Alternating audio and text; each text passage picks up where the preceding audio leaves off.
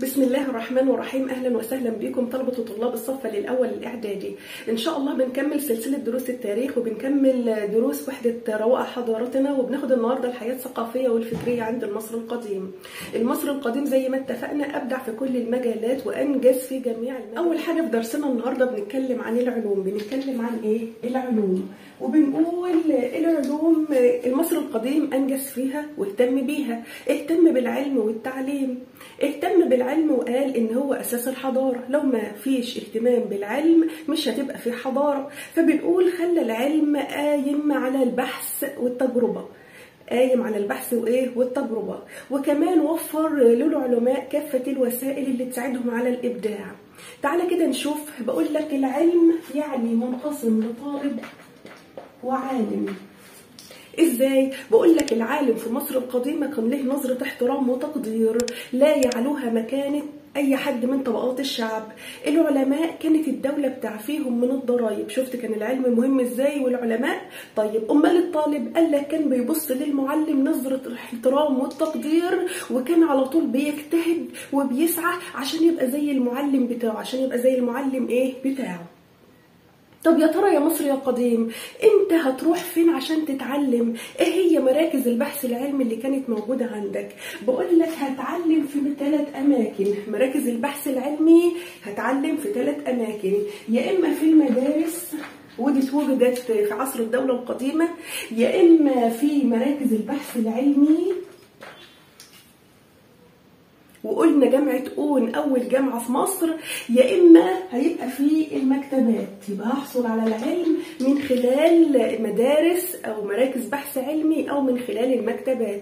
المكتبات مش زي اللي إحنا عارفينها اليومين دول اللي هي كتب لأ كانت عبارة عن لفائف من ورق البردي لفائف من ورق إيه؟ البرد. مراكز البحث العلمي ثلاثة زي ما خدنا كده بقول مكتبات بحث علمي ومدارس. هي الحاجة دي موجودة في الكتاب. بقول لك لأ مش موجودة. وإحنا اتفقنا من يوم ما ابتدينا القناة اللي أنا بدي لك معلومة تكون على قد سنك عشان لما تكبر تبقى مدرك وفاهم كل إيه. تعالى معايا كده بسرعة نعرف أهم العلوم اللي عرفها وبرع فيها المصري القديم. أهم العلوم اللي عرفها المصري القديم كان علم الفلك. كان علم إيه؟ الفلك. الفلك أيوه يعني علم الكواكب والنجوم يعني علم الكواكب وإيه؟ والنجوم. مصر القديم استطاع اللي هو يعرف موقع بعض الكواكب والنجوم. بعد كده عرف التقويم الشمسي. عرف التقويم إيه؟ الشمسي. يعني إيه تقويم شمسي؟ بقول لك المصري القديم قسم السنة ل 365 يوم ل 365 يوم. والسنة هيكون فيها 12 شهر هيكون فيها 12 شهر. والشهر فيه 30 يوم. الشهر فيه 30 إيه؟ يوم. هيتبقى خمس أيام من كل شهر. اللي إحنا دلوقتي بنسميه شهر 31 يوم. هناخد الخمس أيام دول ونعملهم أيام أعياد. هنعملهم أيام إيه؟ أعياد. اسمها أيام النسيء بعد أيام الأعياد دي بتنتهي وبيجي بعدها عام جديد. طيب أعمل إيه كمان المصري القديم؟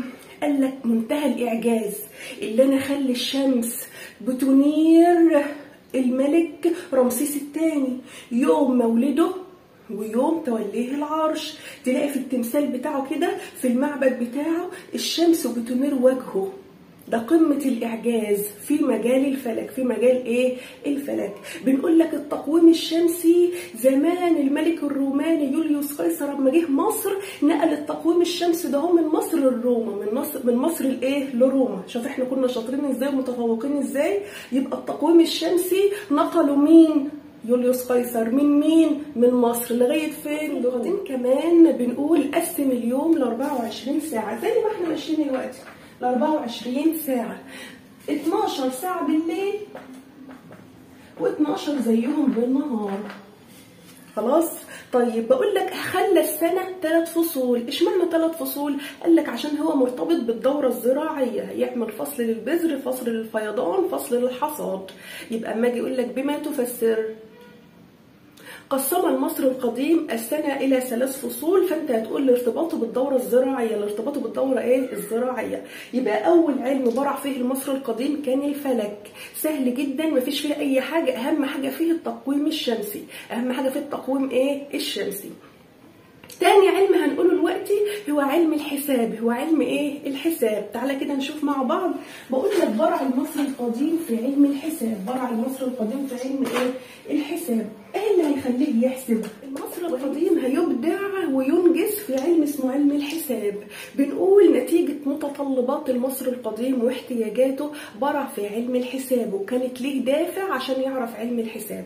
فاجي أقول لك بما تفسر اهتم المصري القديم بعلم الحساب بقول لأن احتياجاته كانت دافع. ليه؟ احتياجاته كانت دافع إيه؟ ليه؟ طيب هيحسب إيه؟ هقول لك شوف يا سيدي استخدامات علم الحساب عند المصري القديم. كالآتي تخيل اللي فيها أرض زراعية تخيل اللي فيها أرض إيه؟ زراعية. يبقى علم الحساب أول حاجة هيفيده في قياس مساحة الأرض الزراعية في قياس مساحة الأرض الزراعية. كان بيقيسها إيه؟ وحدة القياس بتاعته إيه؟ قال لك يا القدم يا الزراع يا القدم يا الزراع يا القدم يا إيه؟ يا الزراع. الزراعة الوقت اللي هو بيغنى عنه وحدة قياس الكيلو وحدة قياس إيه؟ الكيلو. طيب بعد ما قاس مساحة الأرض الزراعية قال لك أنا هقيس المحصول اللي خرج منها هحسب المحصول اللي. اللي خرج منها. يبقى هيساعدني في قياس كمية المحصول قياس كمية إيه؟ المحصول. طيب أنا بعد ما عرفت مساحة الأرض وعرفت كمية المحصول هيساعدني علم الحساب في تنظيم مياه النيل. هعرف السنة اللي كانت فيها مية النيل عالية والسنة اللي ميه فيها مية النيل انخفضت شوية. يبقى هيساعدني في تنظيم مياه الفيضان. إحنا لسه مرتبطين بالأرض الزراعية. فهقول لك الحساب هيفيدني. هعرف إمتى هزرع؟ يبقى هيعرفني موسم الزراعة هيعرفني موسم إيه؟ الزراعة. الحساب هيساعدني في تسجيل الرواتب بتاع الموظفين. ده خد كام؟ وده ما لسه كام؟ هيساعدني كمان في حصر غنائم الحروب. أثناء الحرب بتاعتي أنا كسبت إيه؟ يبقى علم الحساب هيساعدني في حصر غنائم الحروب. هيساعدني علم الحساب كمان في في معرفة مين خد ومين اشترى مين باع ومين اشترى. هيعرفني المعاملات التجارية. هيساعدني في معرفة المعاملات إيه؟ التجارية. يبقى ده علم الحساب. تاني علم برع فيه المصري القديم. يبقى علم الحساب عشان تفتكروا افتكر الأرض الزراعية. علم الحساب عشان تفتكره افتكر اللي انت لو في حرب وخدت غنائم كسبت قد إيه؟ بيسجل بيساعدك في تسجيل رواتب الجند. ده علم الحساب. يا رب. خدنا علم الفلك وعلم الحساب ثالث علم هيبرع فيه المصري القديم هو علم الهندسة. هو علم إيه؟ الهندسة. بقول لك إحنا من زمان عرفنا الأشكال الهندسية. عرفنا المربع والمستطيل والمثلث.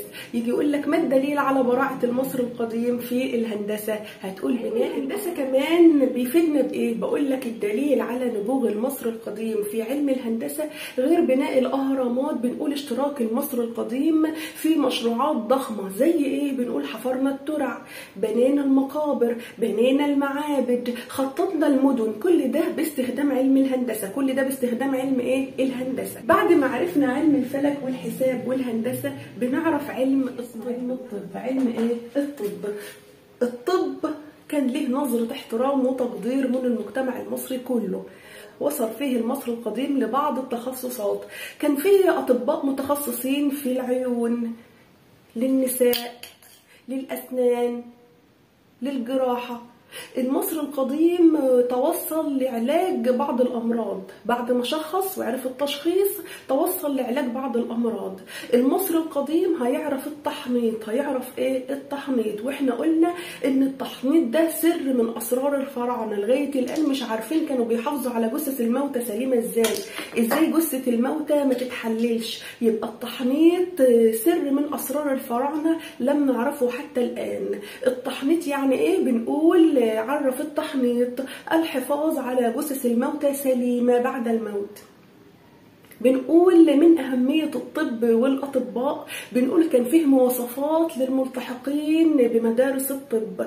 زي إيه؟ بيقول لك لازم يكون كثير الصمت ما يتكلمش كتير. لازم يكون رحيم. أمين حكيم دي من الصفات اللي لازم توافرها في الطبيب اللي هيلتحق بمدرسة الطب اللي هي الوقت زي الجامعة. طيب بعد ما عرف المصري القديم الطب إحنا قلنا عرف تشخيص بعض الحالات وعرف علاجها. يعني لازم ترتب على معرفته بالطب عرف علم الكيمياء. عرف علم اسمه علم إيه؟ الكيمياء. الكيمياء بنقول ده عرف من زمان. فاكرة كده وأنا بشرح الدرس بتاع الأدب وبتاع الكتابة؟ وبقول لك ده عرف اللون الأحمر واللون الأسود في الحبر عشان يكتب بيه. ده دليل على تفوقه في علم الكيمياء. يبقى نتيجة معرفته بالكيمياء عرف الألوان. عرف إيه؟ الألوان. نتيجة معرفته بالكيمياء عرف علاج يعني عرف العقاقير والأدوية اللي هي كانت بالأعشاب. عرف كمان أدوات التجميل عرف كمان أدوات التجميل وعرف العطور عرف يعمل إيه؟ العطور. طيب أما أجي أقول لك عرف إيه كمان في مجال الكيمياء؟ بقول لك في مجال الكيمياء عرف المواد اللي هيدخلها في التحنيط. عرف المواد اللي هتدخل فين في التحنيط؟ وهو بيحنط الجثة كده يعرف إيه المواد اللي. اللي هتدخل فيها. فتاني بقول لك دلل على براعة المصري القديم في علم الكيمياء. هتقول أدلل على براعة المصري القديم في علم الكيمياء؟ ده توصل للألوان توصل للأصباغ توصل للعقاقير والأدوية بالأعشاب. عرف يدخل أو يدخل بعض المواد اللازمة للتحنيط كده خلاص خدنا الكيمياء خدنا الطب خدنا الحساب الهندسة والفلك. تعالى بقى نشوف الجزء الثاني من الحياة الثقافية. تاني حاجة هناخدها هناخد العمارة. العمارة يعني البنى. يا ترى المصري القديم هيبني إيه؟ وفين؟ وإيه المواد اللي هيستخدمها في البنى؟ تعالى كده نشوف مع بعض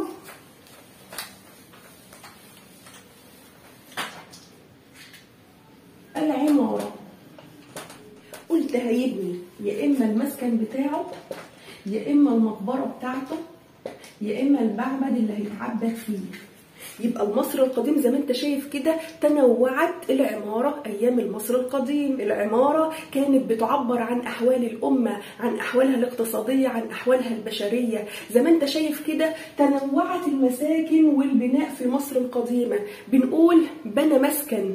وبرضه بنى مقبرة وهرم وبنى معبد. يبقى في بساطة وفيها عظمة وفخامة. يبقى المصري القديم المباني اللي, مب... اللي بناها تميزت بالبساطة في بعض الأحيان زي ما بنى المسكن المسكن بتاعه وتميزت بإيه؟ بالفخامة وإيه؟ والعظمة. زي ما عمل المقبرة القديم بنى المسكن بتاعه. بنى على أساس إن ده حاجة مؤقتة هموت وهمشي واسيبه. فبناه من الطين والطوب اللبن. بناه من الطين والطوب إيه؟ اللبن.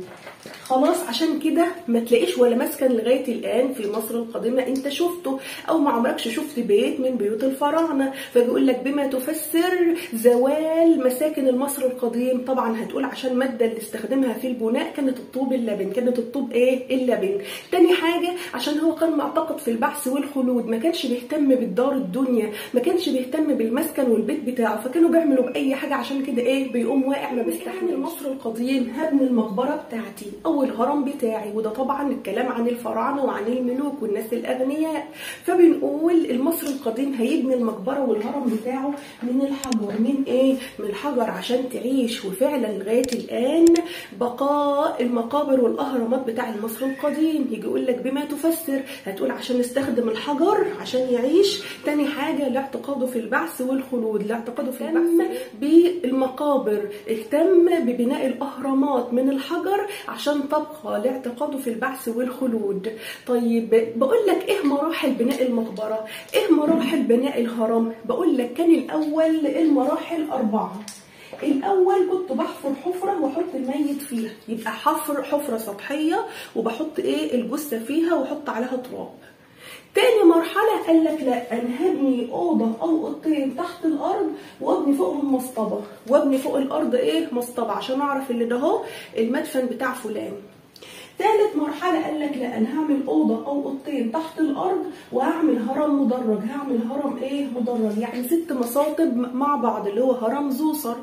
رابع مرحلة اللي خدت المقابر والأهرامات. أكثر تعقيدا أكثر تطورا كان في عهد الدولة القديمة. في عهد الدولة إيه؟ القديمة. رابع مرحلة من مراحل المقابر اللي هو بناء الهرم الكامل. بعمل أوض كتير تحت سطح الأرض وأقوم قايم ببناء ضخم عليه. يمتد لأمتار كتير. يبقى بنقول عملنا الهرم الكامل. عملنا الهرم إيه؟ الكامل. زي الأهرامات اللي موجودة في الجيزة. زي الأهرامات اللي موجودة في إيه؟ في الجيزة. فالسؤال يجي يقول لك كالآتي. اكتب نبذة مختصرة عن مراحل تطور المقابر أو الأهرامات. الاتنين إجابتهم واحدة. هتقول أول مرحلة كانت تحت الأرض حفرة. لا يا دوب بحفر حفرة سطحية وأحط فيها الميت وأردم.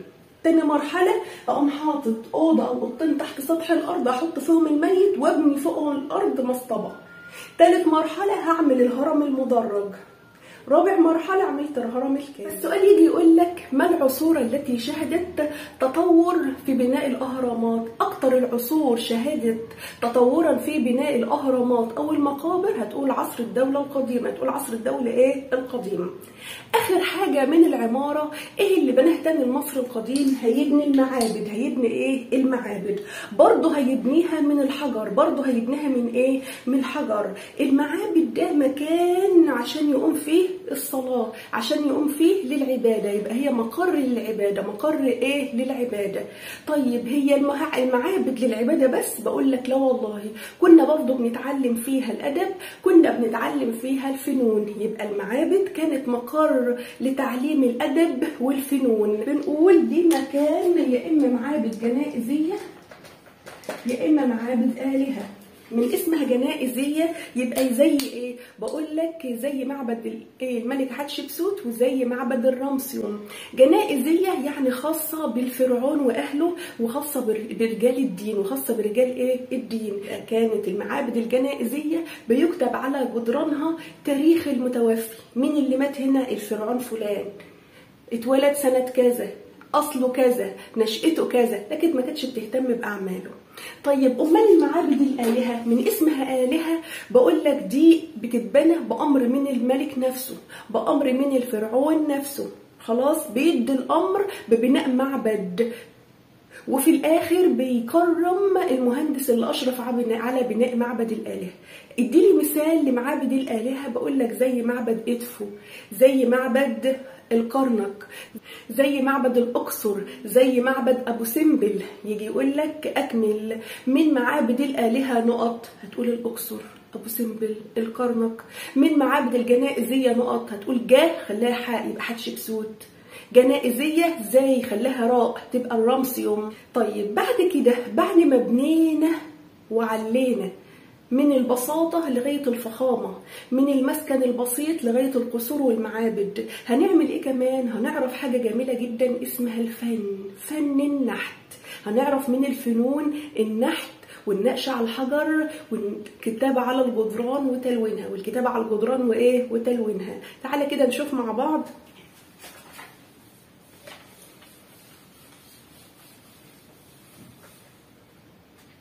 بعد بقول لك الفنون؟ الفنون؟ جنون. بقول لك المصري القديم عرف الفنون. عرف إيه؟ قال لك اللي أنت شايفه بعينك حاجة اسمها النحت. وصل المصري القديم لقمة الإتقان. إزاي؟ قال لك ده أنا نقشت على صخور شديدة الصلابة. شكل إنسان وكمان جسم أسد. ده مين؟ ده بنقول لتمثال أبو الهول. يبقى الدليل على الإتقان نحت أبو الهول. نحت إيه؟ أبو الهول. بنقول نحتنا على صخور شديدة الصلابة. ده في عصر الدولة هي القديمة. إحنا شاطرين في النحت من زمان منذ بدايات التاريخ. عشان يجي يقول لك صح ولا غلط. أتقن المصري القديم النحت في أواخر العصر الفرعوني. هتقول له لا ده والله من يومنا وإحنا شاطرين في النحت. الدولة القديمة عرفنا ننحت تمثال أبو الهول. عرفنا كمان في عصر الدولة الحديثة هننحت تمثال لتحتمس الثالث هنعمل تمثال لتحتمس إيه؟ الثالث طيب يبقى ده أول حاجة في مجال النحت. يجي يقول لك دلل دلل برع المصري القديم في مجال النحت. أو وصل المصري القديم في مجال النحت إلى درجة كبيرة من الإتقان. فأنت هتقول فعلا وصل لدرجة كبيرة من الإتقان لأنه نحت تماثيل على صخور شديدة الصلابة زي تمثال أبو الهول في مصر القديمة وزي تمثال تحتمس الثالث في مصر إيه؟ الحديثة أو في عصر الدولة الحديثة. طيب بعد كده بقول لك بعد ما عرفنا النحت هنعرف إيه؟ قال لك حاجة نعملها في المعابد بس.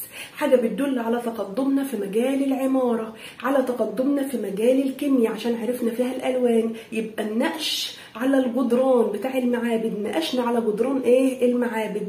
رسمنا على جدران المعابد. يبقى الرسم والنقش على جدران على جدران المعابد. زي مين؟ بقول لك زي نفرتاري المعبد بتاعها أنا لونت في حيطانه. رسمت ولونت. رسمت وإيه؟ ولونت. يبقى تاني حاجة الرسم والنقش والتلوين كمان على جدران المعابد على جدران إيه؟ المعابد. وده بيدل على تقدمنا وتفوقنا في إيه؟ في العمارة عشان بنينا المعابد في الكيمياء عشان عرفنا الألوان عشان عرفنا إيه؟ الألوان. آخر حاجة بقول لك النقش على الحجر عرفنا النقش على إيه؟ على الحجر. النقش على إيه؟ على الحجر.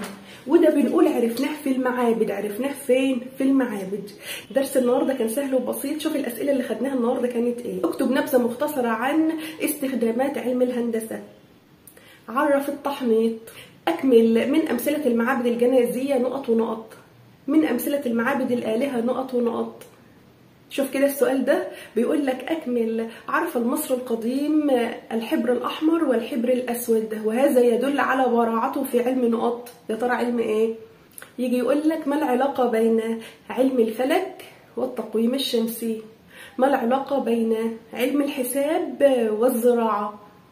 درس سهل وبسيط. إن شاء الله يا رب تكونوا فهمتوا مننا حاجة. هستنى تعليقاتكم ودمتم بخير.